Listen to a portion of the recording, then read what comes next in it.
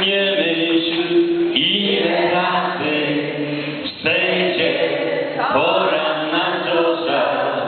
Nie myśl, ile razy wstędzie poranna zorza.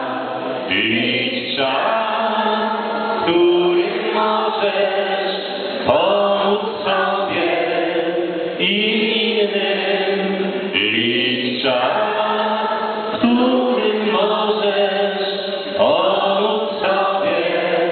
I innym.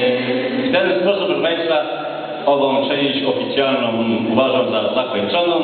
Serdecznie dziękuję wszystkim tym, którzy przybyli, słuchaczkom i słuchaczom, przedstawicielom stowarzyszenia, e, panu wójtowi, panu